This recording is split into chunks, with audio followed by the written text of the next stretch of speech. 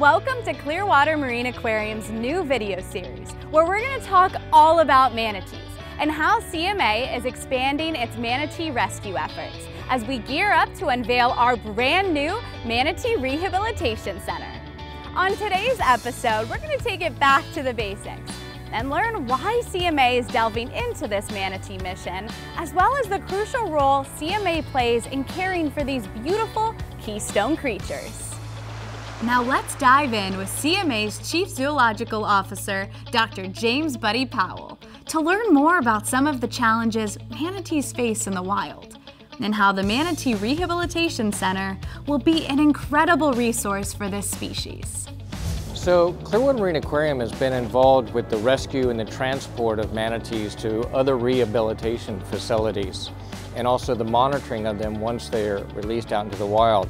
What we're doing right now is we are going to be filling in that gap between the rescue and the release of the animals and we're going to be able to provide critical care and rehabilitation right here at Clearwater Marine Aquarium.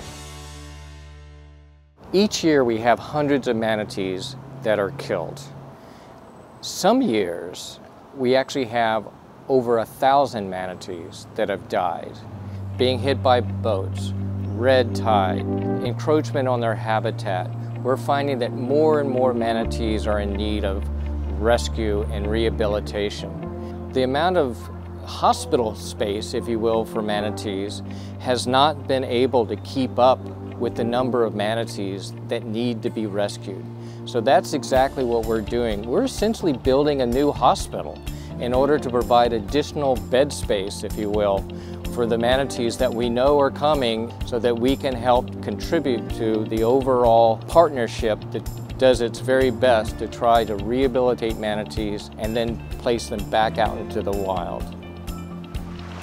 We hope you gained a better understanding as to why this Manatee Rehabilitation Center is so incredibly important to these manatees in need. If you're passionate about manatees and want to learn more, visit cmaquarium.org.